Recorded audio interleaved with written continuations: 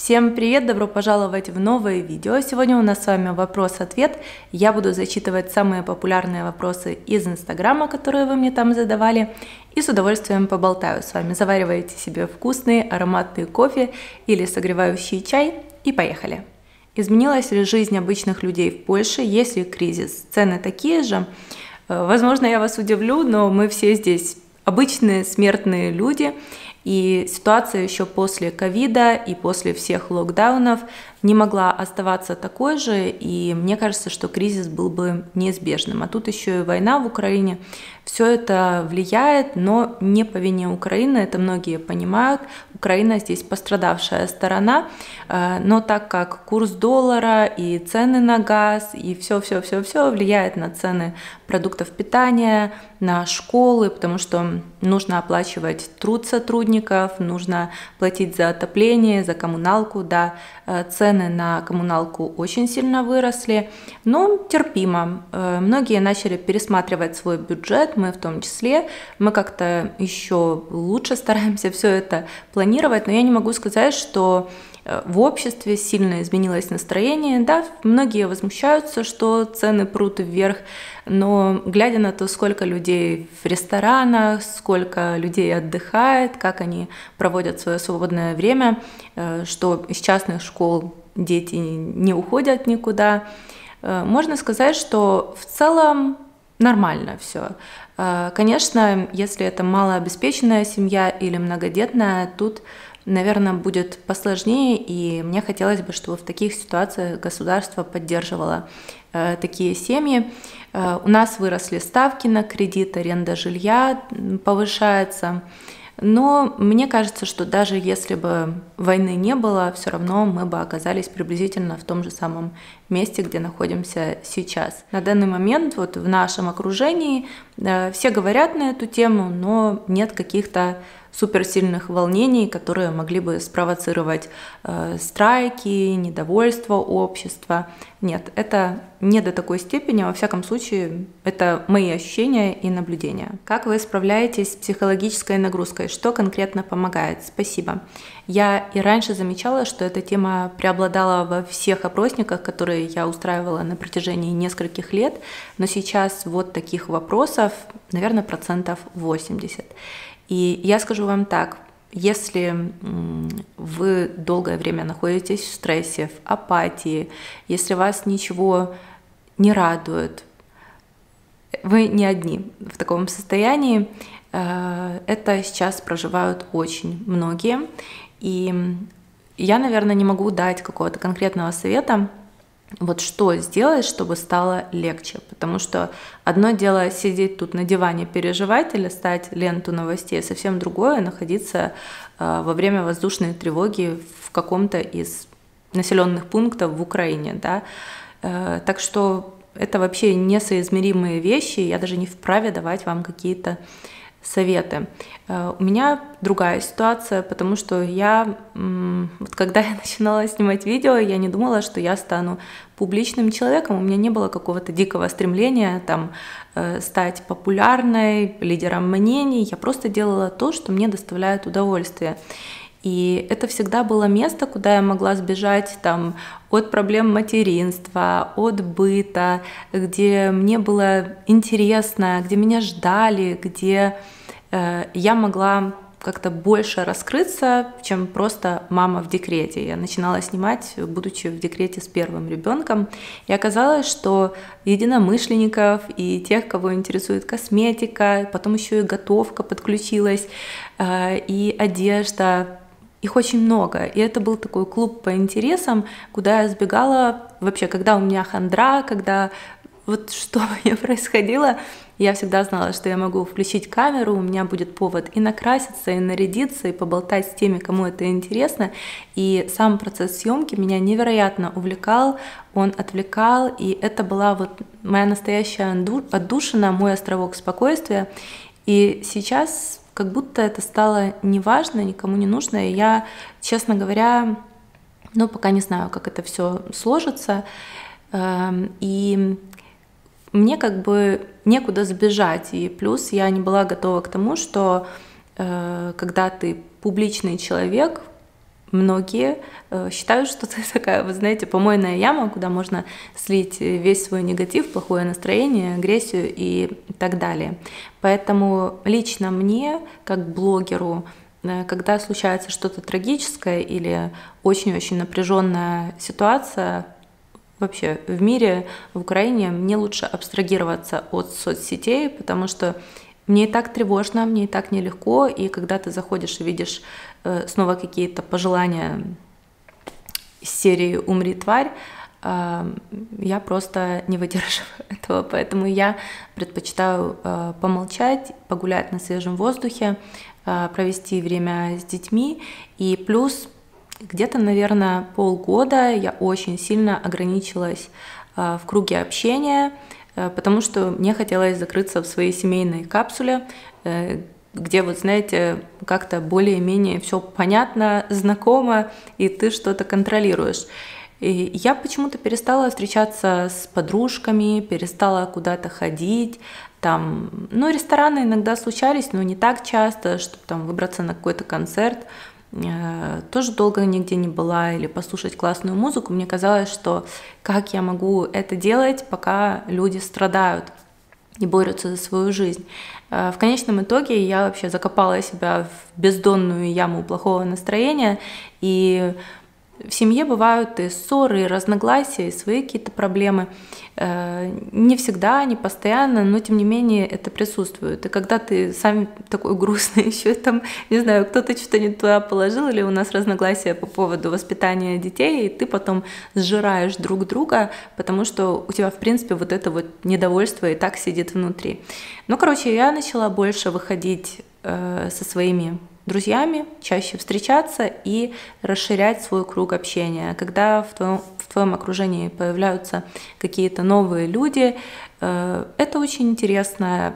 Лично мне это помогает. И человек спасет человека. Как-то так. Я даже в долгое время не общалась со своей Настей. Не потому, что что-то произошло, а потому что она была сильно увлечена в вот эту волонтерскую деятельность. А, я тоже, но мы как-то вот на расстоянии общались только по этому поводу. Ну а потом я видела, что ей сложно, я сама выкарабкивалась, и я даже в какой-то момент обратилась э, к специалисту, чтобы проверить, нет ли у меня какой-то депрессии.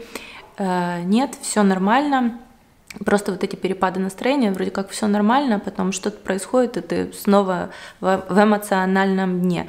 И мне сказал психолог интересную вещь, а, она, во-первых, разжевала мне реакцию людей, почему многие считают нужным и важным написать мне что-то плохое, а, пожелать, и почему так реагируют многие люди. Ну, в общем, она много чего, так знаете, просто по полочкам разложила в моей голове. Также она сказала мне, что наоборот, это как бы нормальная человеческая реакция, когда э, ты переживаешь за своих близких. Если было бы наоборот, то это настораживало бы. А, я не знаю, каким можно быть человеком, которому вообще все по барабану. И у меня так не получается. Если вы чувствуете, что вы не вывозите, если вы долго находитесь в таком подавленном состоянии, ищите возможность обратиться к психологу э, или какому-то другому специалисту. Есть много сейчас волонтерских организаций, и это не стыдно, это не страшно, и поверьте мне, что может стать лучше. Какая успеваемость парней в школе, в смысле наших детей? Какое их поведение? Вызывали ли вас к директору? Успеваемость в школе хорошая и у одного, и у второго. Что касается поведения, о, между прочим, в начальной школе дети не получают оценок. Есть как бы градация их успеваемости и отдельная шкала для поведения. И у Захара э, чуть хуже с поведением, но не потому, что он э, как-то там бьется или что-то такое делает, он просто часто не может сдержаться с ответом. То есть, если задают вопросы, и пока там учитель кого-то вызовет, он тут же выкрикивает. И это то, на что мне часто э, обращали внимание, что вот, мол, нужно как-то э, терпимость какую-то развивать у ребенка и так далее. Э, но был такой период, когда мы записали Захара не в нулевой класс, а в первый. Мы догоняли программу нулевого класса, потому что обучение, вообще вся программа в нашей частной школе с Херцо, она начинается еще в 5 лет. То есть здесь в первом классе, вот октябрь, да, у Игната сейчас уже таблица умножения, деления, э, дроби, ну, в общем, так интенсивно, можно сказать, поэтому было что догонять. И я видела, что Захару было э, некомфортно на некоторых предметах, потому что мы подгоняли чтение для первого класса. Ну, так получилось, что он только в первом классе присоединился. Э, Игнат уже из садика как бы пошел, да, там по обучению. И э, английский нам нужно было немножко подтянуть дома. Э, также мы занимались... Математикой, но я не думала, что это как бы настолько будет. И я видела, что ему было сложновато. То есть если бы я сейчас планировала обучение детей в частной школе, я бы прям сильно заранее узнавала, когда начинается школьная программа, чтобы потом не приходилось догонять, потому что Захар у нас по своим качествам, он такой лидер, и он очень начитанный ребенок. Мы никогда его не заставляли читать, но он реально обложен книжками, он поглощает их в немеренном количестве. А, мы ему читали в детстве, а потом он как-то сам научился, Томик его научил и как-то сам начал просить, а купите мне такую книжку, купите такую, и огромная часть нашего бюджета уходит на книги, э, потому что из библиотеки он поприносил уже все то, что можно, а, вот, и Э, когда он попал в первый класс, там уже все были на определенном уровне, а он такой, как я такой лидер, тут самый умный, и не все знаю.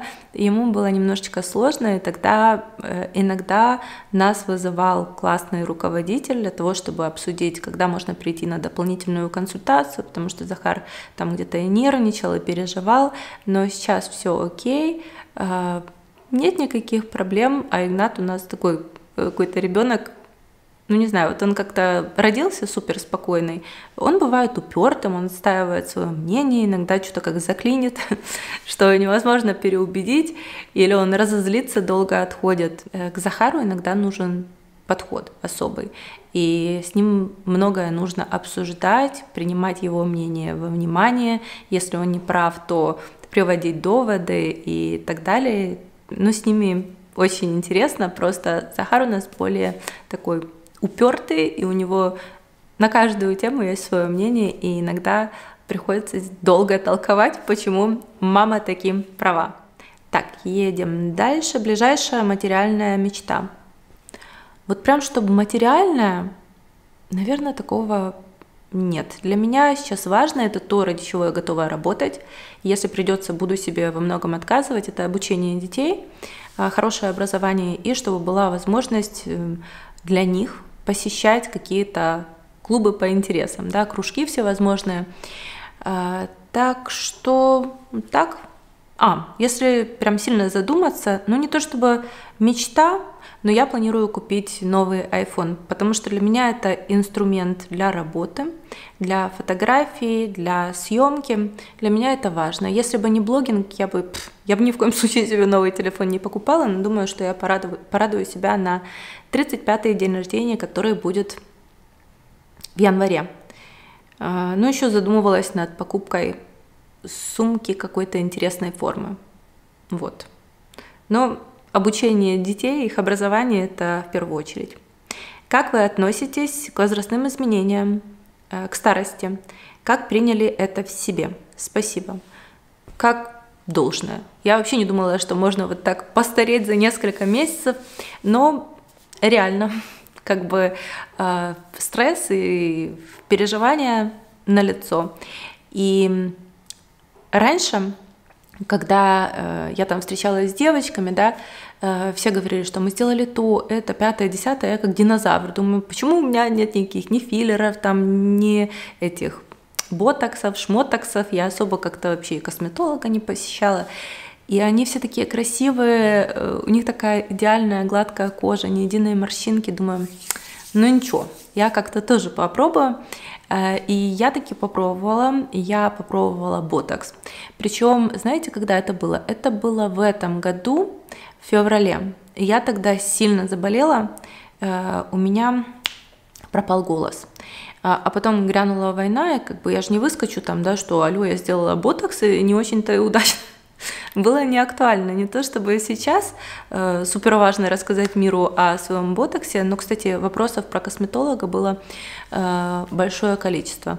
Мне не понравилось, я расскажу в видео об уходе, что было не так. Сейчас видите, что уже все отпустила, все мои морщины на месте, но это меняет культуру мимики. То есть я меньше сейчас морщу лоб. Буду ли я это повторять? Пока что не знаю, не очень хочется.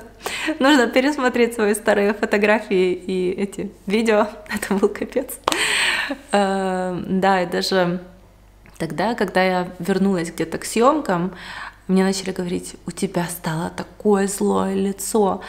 Э, ну, во-первых, я была морально подавлена, а во-вторых, реально от ботокса у меня стало очень злое лицо, брови домиком, капец.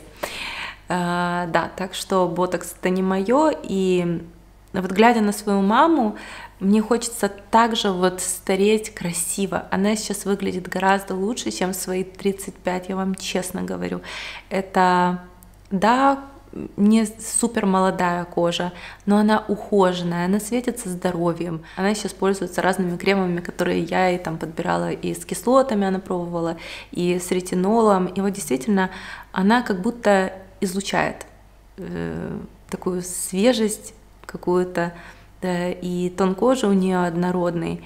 Я иногда просматриваю даже видео визажистов, где они красят э, женщин в зрелом возрасте, даже 70 лет там. И у меня нет такого, фу, какое некрасивое морщин, морщинистое лицо. Я думаю, я вот в старости хотела бы выглядеть так же.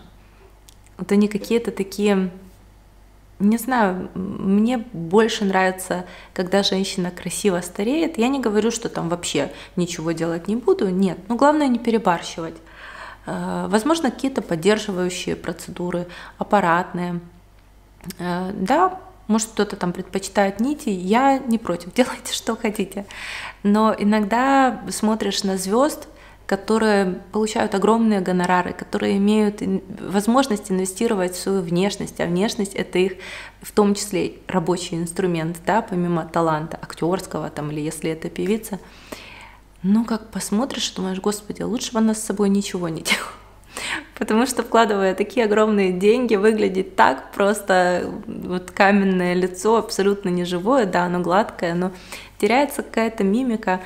Э, я нормально в себе это принимаю. Зачем я себе сделала ботокс? Это влияние тоже Ютуба, Инстаграма и очень многие блогеры, между прочим, э, которым вы пишете, что ты так классно выглядишь. Э, я, допустим, знаю, что там и филлеры, и Ботокс это сделано красиво, и кому-то это подходит. Окей, я попробовала на себе, пусть лучше я буду тут разравнивать тон в складках, да, носогубных, но я не готова. Или там наколоть скулы, да, чтобы здесь выровнялось, я не хочу, потому что, ну вот лично я сейчас вижу это у многих девушек, потом здесь такая тень образуется, ну как-то оно так, мне кажется, что нужно знать меру, но прям сильно вот натягивать себе лицо на затылок в 50 лет, э, такого нет. Я не хочу. Что-то подкорректировать, окей, но честно вам говорю, что мне нравятся возрастные женщины. Они также прекрасны, но мы все сейчас живем э, в эре Инстаграма, еще с фильтриками, и многие слишком сильно увлекаются косметологией. так что прям сильно разглаживать себе лицо утюгом, какими-то инъекциями там, да, я не планирую. Мне вполне окей, я никогда не скрываю свой возраст, даже когда общаюсь с младшими людьми, э, мне это не смущает. Меня не смущает то, что у меня и тут где-то есть морщинки. Это такие мелочи, мне кажется, настоящая старость еще будет потом. Будем тоже краситься так, чтобы не было заметно, или чтобы мы выглядели более свежими. Подумаешь, ну, честно говорю вам, что не особо хочу снова колоть ботокс, потому что, ну, реально мое лицо изменилось. Пусть уж лучше будут морщины, или я что-то сделала не так. Так, снова относится к ботоксу и аппаратным процедурам. Я думаю, что буду прибегать к аппаратным, тогда лицо выглядит более ухоженным и не стекает в декольте окончательно. Оля, привет. Какой совет вы дали бы себе 22-23 летней?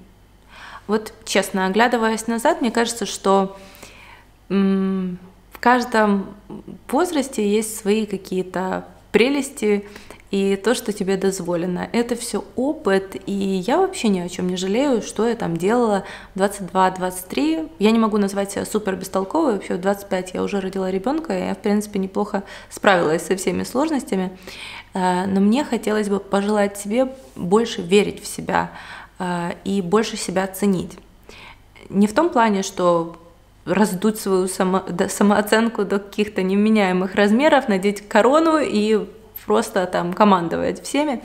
Э, нет, но мне очень долго казалось, что я недостаточно допустим, там компетентна на работе или недостаточно хорошо что-то делаю, недостаточно красивая, э, недостойна такого мужчины, недостойна внимания, недостойна похвалы. Вот постоянно вот это недо. И это сказывалось потом во многих сферах жизни. Например, я там не просила повышения зарплаты, несмотря на то, что я получала меньше всех в офисе, потому что мне казалось, что мне еще недостаточно опыта. Но я работала как проклятая, и я работала слишком много часов, э, каждый день, и в субботу, и в отпусках, и вообще, и когда даже выполняла свою работу на отлично, мне всегда казалось, что М, можно и лучше. Или там думаю, вот это вот закончу, вот тут будут супер результаты, только тогда пойду. А за это время э, все в окружении уже по пять раз получили повышение к зарплате, да, то есть больше верить в себя и не стесняться, не недооценивать себя. Так, хочется видео о духах, о каких-нибудь бюджетных находках. О духах не знаю, возможно, ближе к э, зимним праздникам, но пока что снимаю то, на что у меня есть настроение и силы. А что касается бюджетных духов, таких вопросов тоже было много, не знаю почему. Э, мне нравятся ароматы в Страдивариусе. Вы заметили, что в Массимо Дутти, в Страдивариусе используют так, также, чуть по-польски не выдала, типа как маркетинг аромата, ну то есть когда ты заходишь в магазин, то там определенные ароматы. Ты приносишь вещи домой, они тоже пахнут, и это у тебя уже ассоциируется с брендом. И вот, кстати, у Страдивариуса такие необычные, очень прикольные ароматы. Если вам хочется что-то вдохновленное брендами, то у Зары сейчас огромнейшая коллекция. Э, там можно найти похожие, но более доступные какие-то аналоги люксовой парфюмерии, иногда даже нишевой. Нужно будет заняться этим вопросом. Где сейчас ваша мама и брат? Эм, мой брат, так же как и все мужчины, э, с начала полномасштабной войны не имел права покидать Украину, поэтому он находится дома и он никуда не готов э, переезжать ну, в более безопасные, насколько это вообще возможно, регионы Украины. Он принял такое решение, и ну, я могу его только принимать. Я э, пыталась переубедить, я просила, но все мы взрослые люди, и каждый отвечает сам за свою жизнь. А, поэтому да, он дома, и моя мама тоже. Я сейчас настоятельно просила ее переехать к нам хотя бы на зиму. А, пока что не то чтобы безуспешно мы рассматриваем такие варианты. Если бы это зависело только от меня, э, я бы, конечно, забрала бы маму и всех родных, которые могут выехать. Но это же не тумбочки, которые можно перевести. Э, поэтому буду делать все возможное, чтобы ее переубедить любым способом. Мне будет так спокойнее. И моя мама невероятно сильная женщина. И я не могу рассказывать все, и, наверное, тоже не очень хочу. Но иногда ее с такой, знаете, моральной, психологической устойчивости мне остается только позавидовать. И скажу вам честно, что я больше паникую. Иногда э, брат мне говорит, Оля, все в порядке, отстань от меня. Я тебе напишу, если что-то там будет. Или не накручивай маму, я тебе сказал. Все нормально. Вот не знаю, как это объяснить, но очень часто, когда кто-то живет за границей, у него родные сейчас находятся в Украине все это время, там, да, их больше трясет. Я не знаю.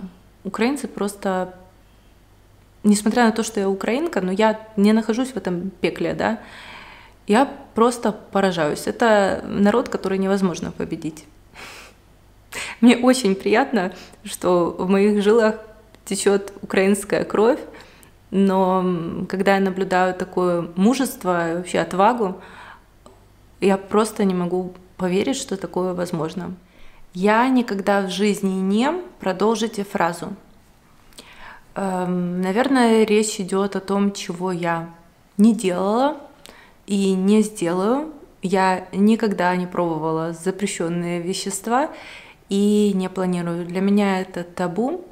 И я не знаю, как сейчас в клубах, но раньше, когда мы ходили на дискотеки, для меня вот лично было шоком, насколько это легко доступно, насколько это массово, скажем так.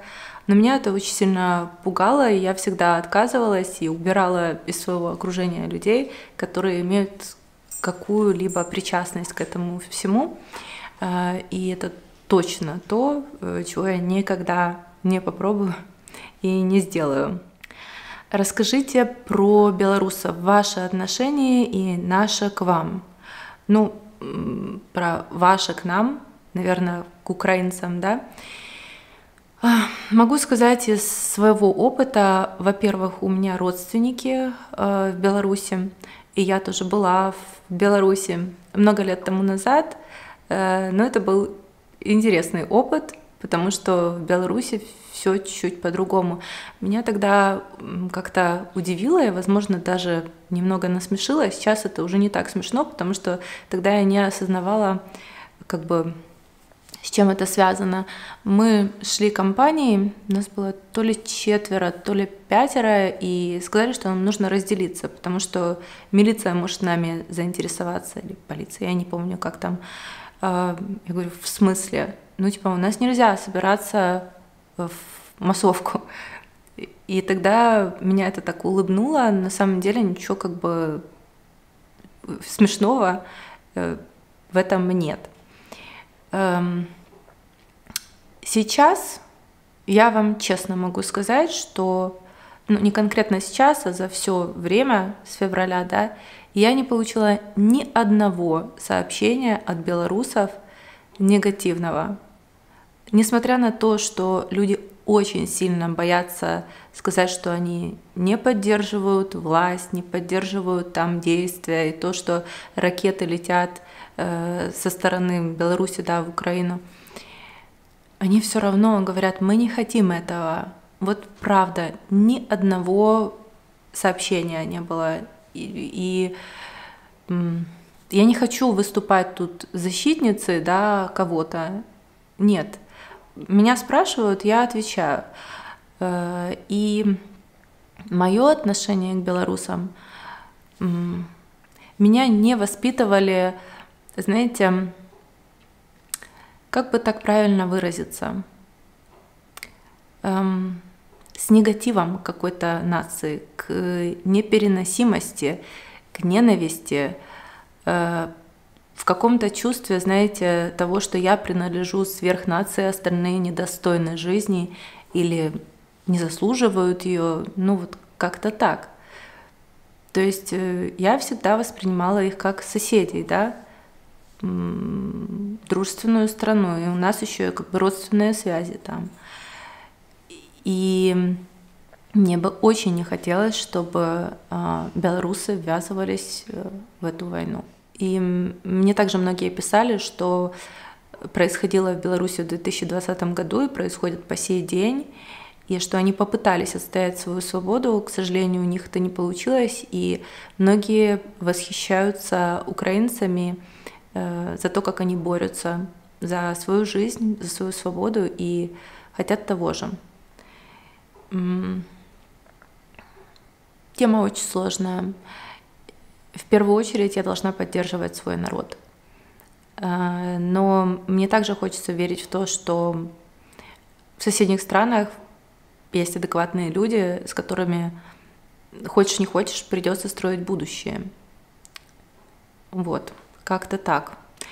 Ну, конечно, когда я приезжала в Беларусь, я замечала, что люди боятся даже в близком кругу обсуждать э, какие-то политические темы или даже э, как бы уровень жизни там, чтобы, не дай бог, не пожаловаться, и кто-то этого не услышал. Тогда это меня тоже так удивило. Но сейчас, наверное, на что-то открываются глаза, и ты больше понимаешь, почему у нас так, а вот там по-другому.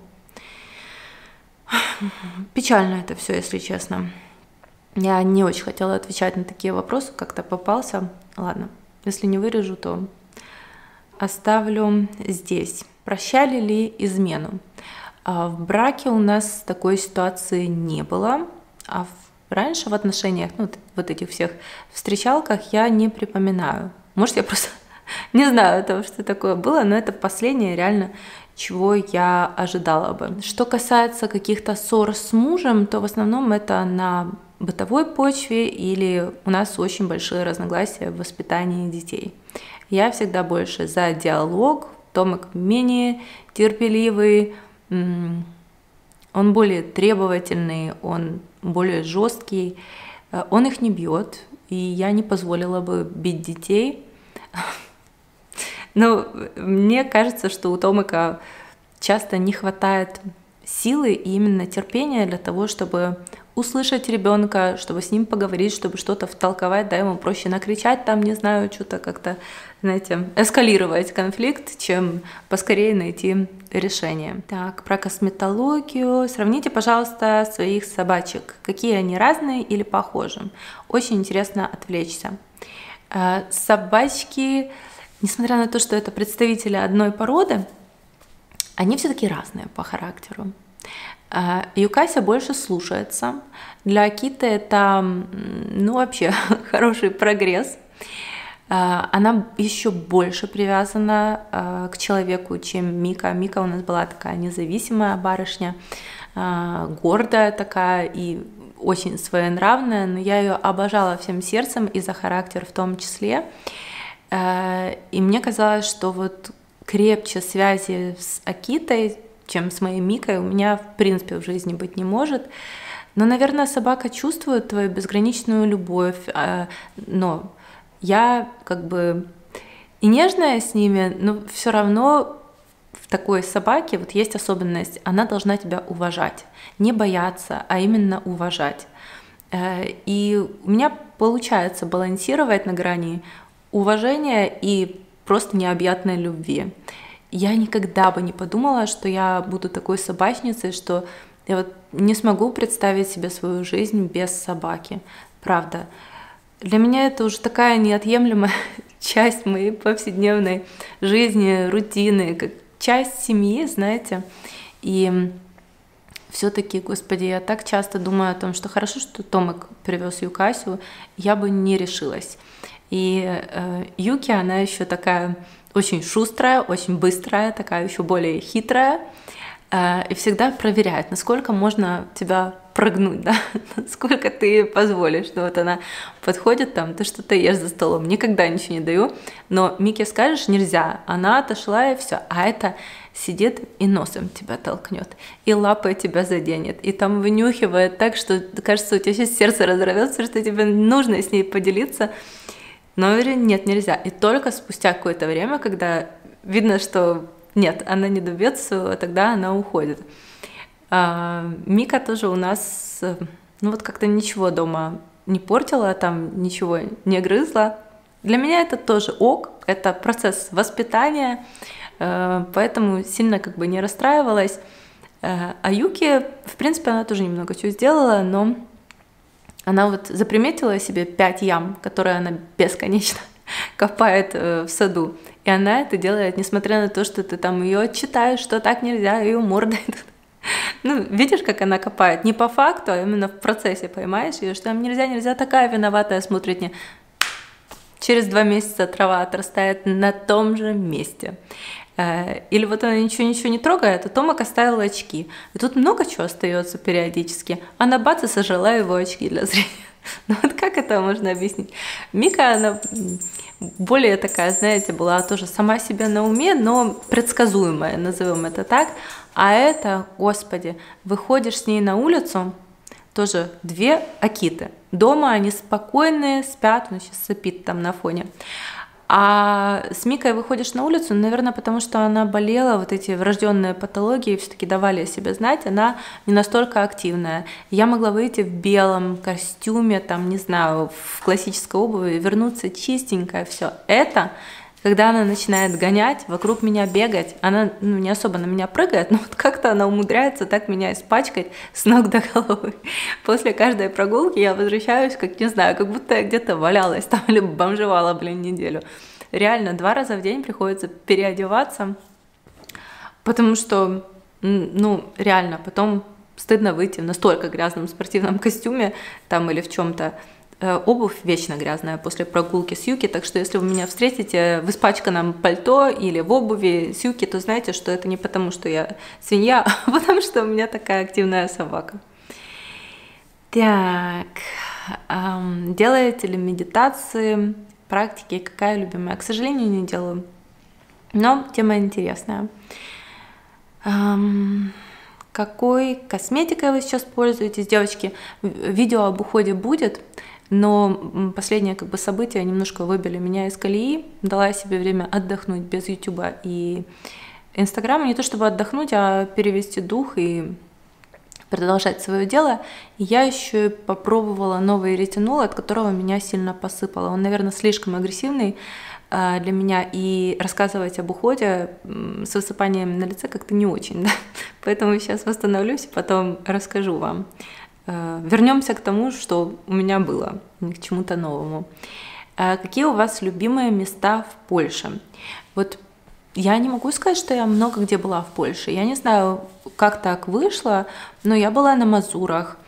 Э, там мне скучновато, может, я просто не распробовала. Больше всего мне нравятся горы. А, это то, что тоже помогает мне немножечко как-то развеять свои мысли. Горы, когда ты чувствуешь себя маленьким человеком среди таких огромных гор, прям вот песчинкой в море, э, это очень крутые ощущения и природа.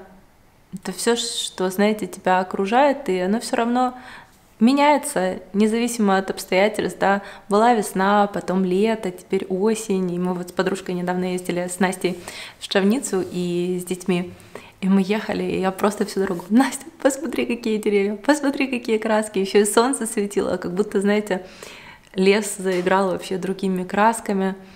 Это было так красиво, ни одна фотка, ни одно видео этого не передаст. Это действительно то, что заставляет тебя радоваться, несмотря ни на что. Так, мне кажется, я немножко это отвлеклась от темы. А, э, что нравится в Польше? Вот регионы Татар, э, Пенины, мне очень нравится Закопаны. Был такой момент, когда я как-то, знаете, думала, что это коммерция, там ничего интересного. А сейчас мне вообще нравится э, в той стороне, да, в горах, так как я сказала, Татры, Пенины, весь этот регион – он какой-то волшебный, причем в любое время года. Сейчас будет зима, если есть возможность, то посетите. Мне бы хотелось ездить на Польское, на Польское море, э, но дорога туда занимает 8 часов, пусть, ну не знаю, в зависимости от пробок, но обычно тогда, когда ты можешь поехать, когда хорошая погода и когда какие-то выходные, то такие пробки, что можно ехать 13 часов, а за 10 мы сгоняем в Хорватию, ну, в одну сторону. Поэтому как-то не по пути. Ну, может, на самолете как-то. Трудно ли снимать видео на YouTube? Ну вот не прям, знаете, сложно с физической точки зрения, хотя в каком-то плане да, это энергозатратно. Вот сегодня даже я там поснимаю полтора часа, скажем, да, получится все видео, э, потом смонтирую это все, но все равно я себя чувствую как выжатый лимон. Если это какая-то тема там к которой мне нужно подготовиться, то иногда сама подготовка занимает несколько месяцев. Иногда это пару дней для того, чтобы как-то структурировать весь план видео, плюс подготовка к съемке, весь вот этот макияж и так далее. Я крашусь не каждый день, иногда я крашусь, крашусь только специально для ролика. Сегодня, если бы я не снимала, я бы не наносила боевой раскрас. А, когда тебе это в удовольствие, то все окей. Э, иногда это, например, влог, который я снимаю частями, потому что не успела, потому что нужно съездить в магазин, что-то купить, или даже продукты купить для э, чего-то, что я собираюсь приготовить и поделиться с вами рецептом. Это занимает много времени. Но когда ты чем-то горишь, когда тебе это нравится, то поверьте мне, что это только в удовольствие. Эм, я не хочу кого-то пугать, кого-то расстраивать. Многим, в принципе, все равно. Блогеры приходят и уходят. Э, но я пока что не знаю, как долго я буду на YouTube. На это есть э, ряд причин. Я дала себе время минимум до конца этого года, возможно, до конца следующего лета. Я буду смотреть по обстоятельствам. Э, но я буду взвешивать все за и против. Будут ли какие-то изменения на канале? Нет. Э, в крайнем случае он просто перестанет существовать. если я и буду начинать что-то заново, то это будет на польском языке. Э, я сейчас стараюсь вспомнить украинский язык, я слушаю, я читаю. К сожалению, у меня в окружении нет украиноговорящих людей, с кем я могла бы практиковать. Поэтому все комментарии, которые вы мне оставляете на украинском, очень помогают мне. Я уже гораздо лучше пишу. Э, и даже когда мне девочки что-то пишут на украинском э, в Инстаграме, я голосовыми часто извиняюсь, что с такими ошибками, но стараюсь хотя бы таким образом практиковать.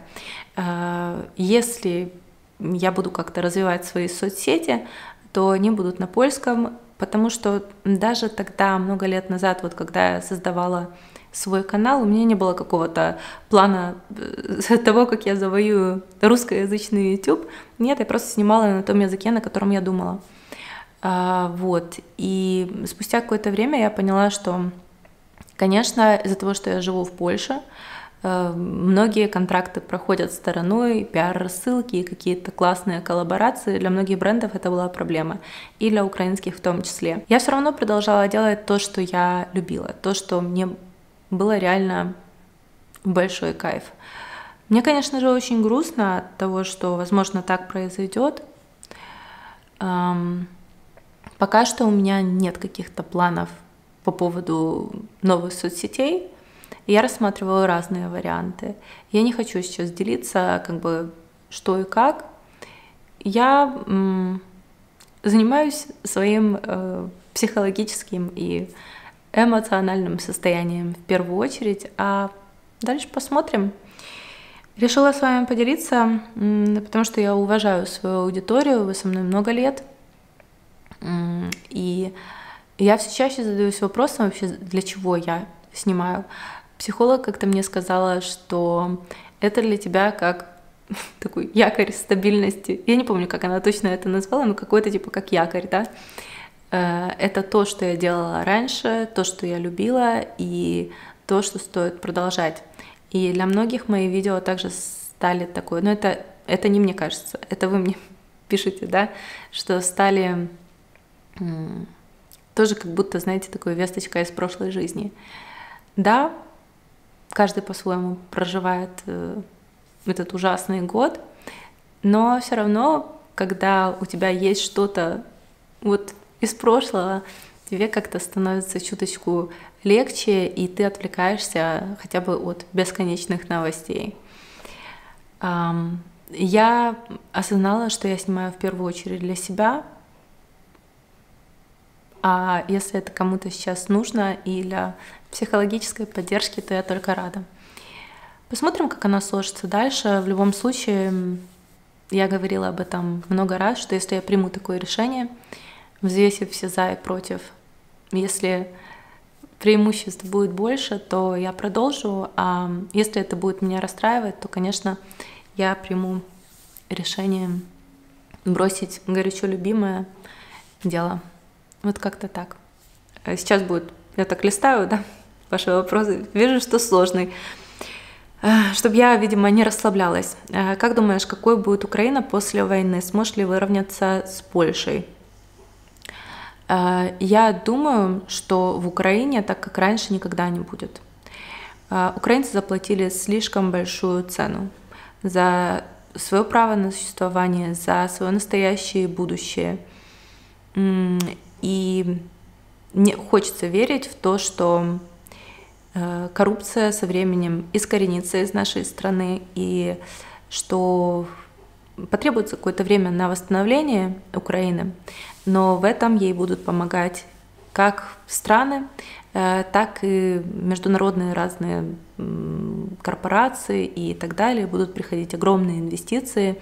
Украинцы показали свою силу духа, э, показали работоспособность и свой героизм. И я думаю, что настоящий расцвет Украины наступит быстрее, чем нам кажется. Главное, чтобы э, поскорее закончилась война. А по поводу того, сможет ли она выровняться с Польшей, Польша тоже довольно стремительно развивается. И вот все, что произошло в этом году, очень сильно поспособствовало тому, чтобы наши страны еще более плотно взаимодействовали, чтобы появлялись какие-то новые связи экономические и так далее. Я думаю, что со временем, э, конечно же, Украина догонит, и мы как-то вместе будем развиваться.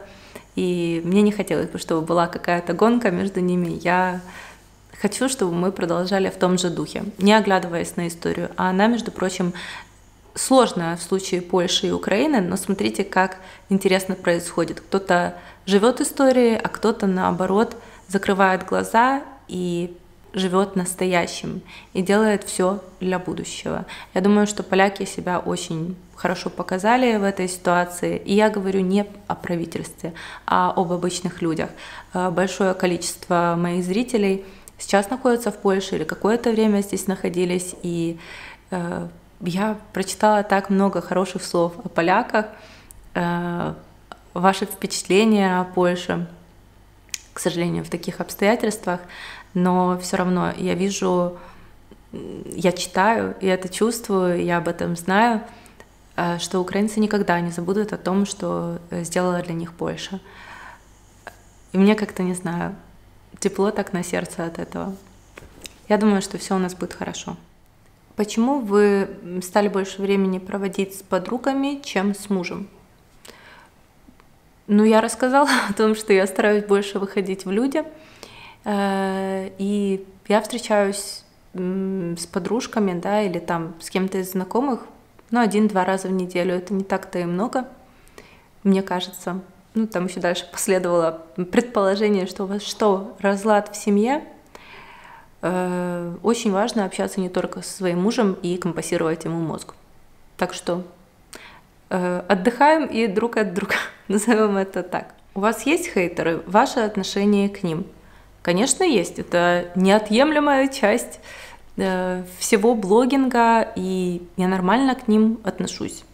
Мне не хочется их как-то унижать, оскорблять. Если о тебе говорят, это тоже черный пиар, назовем это так. Знаете, есть фан-клубы, а есть желтушные газеты, да? Но не бывает так, что говорят только хорошие. И даже если там, не знаю, ты показываешь только свою лучшую сторону, то все равно людям хочется верить, что она вот не такая, как хочет казаться. И когда желтушная пресса там э, создает какой-то заголовок, почему-то это очень сильно притягивает, и в основном не пишут о хорошем.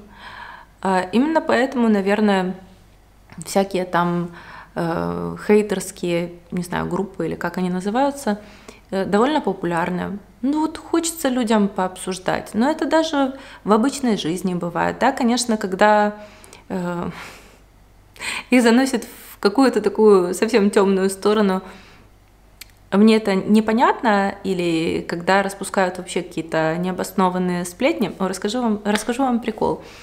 Э, я не знала о существовании вообще вот этих хейтерских каких-то групп.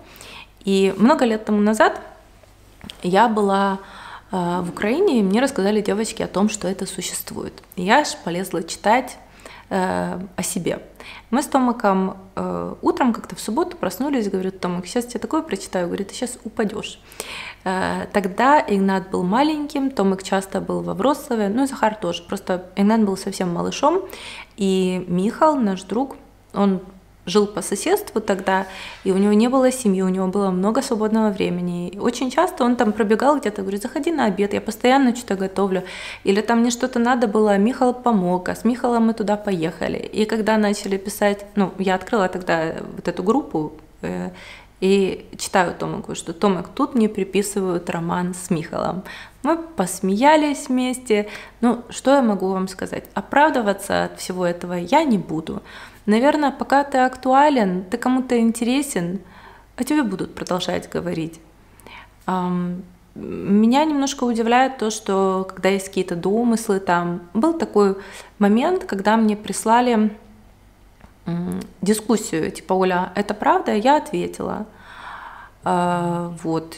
И ничего из этого не последовало. То есть, наверное, они хотели бы спросить, но боялись. Меня можно спросить о многом. Я довольно открытый человек и многое рассказываю так, как есть. Если кто-то со мной там не согласен с тем, что я говорю, не нравится, как я одеваюсь, это критика, это не хейт.